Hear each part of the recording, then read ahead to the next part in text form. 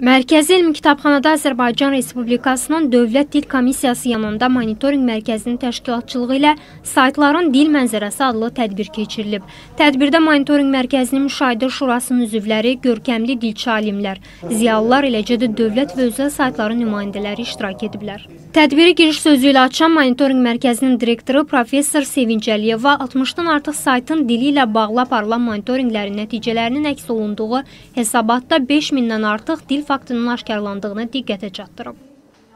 Kütləvi informasiya vasitələrində, o cümlədən saytlarda Azərbaycan dilinin saflığının qorunması və düzgün tətbiqi olduqca əhəmiyyətli və vacibdir.